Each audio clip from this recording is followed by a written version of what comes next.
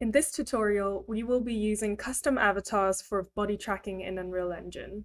We know that this is a very frequently requested tutorial, so we'd love to show you some ways of getting body tracking on these custom avatars. The pace for this tutorial might be a bit fast considering the number of steps it has and how manual it is, but feel free to pause and start as you wish, and if you get any success following this tutorial, feel free to share your results on our Discord channels. I've previously done a live stream on Daz avatars, so it's a longer run through with similar workflow if you want to follow that as well. As you know, 3D avatars come with different skeletons, weights, proportions, body shapes. So for those of you interested in bringing custom avatars into Unreal, you will need to first rig them with a skeleton.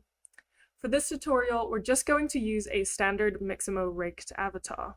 So I went on Mixamo and grabbed some of these characters, downloaded them and imported them into Unreal.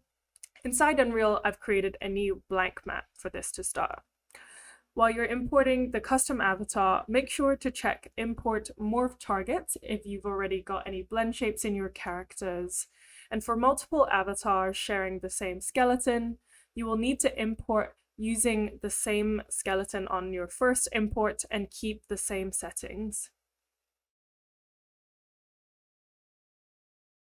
If you're using Mixamo Standard Rig, I've already created a specific animation blueprint for you to use with it.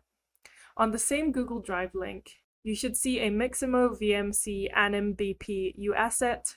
Simply download this asset and drag this into your content folder in the project inside Windows Explorer.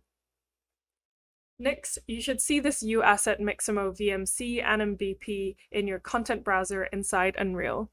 Double click on this asset and to open up this blueprint window, on the top bar over here, you should see class settings. Click on class settings and it is very important that under target skeleton here, you select the correct skeleton tied to your Mixamo avatar, same as your import, as it will be very likely that it will be a different name from mine.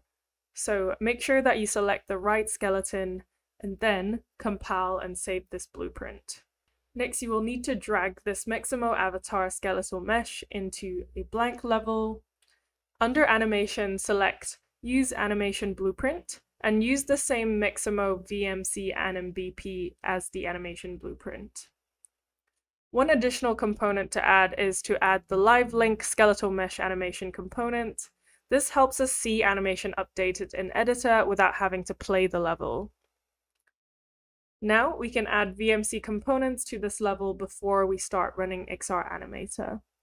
For this, you will need to go to Content Browser, find VRM4U plugin. Inside VRM4U content folder, go to Util, Actor, Latest, and Sub.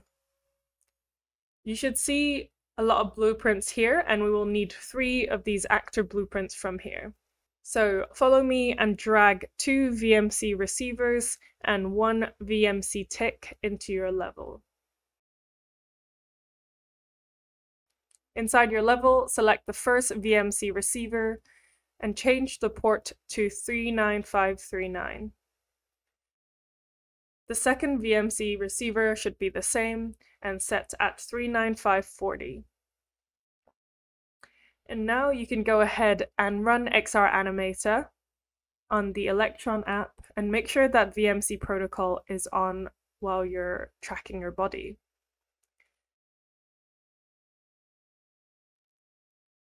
Click on the first VMC receiver in Unreal Engine and hit Server Listen. And now you can see that the body is already updating according to the tracking in XR Animator you can now fluidly switch between different avatars on the same skeleton while still running body tracking.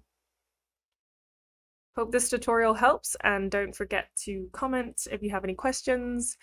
And again, please feel free to share your results.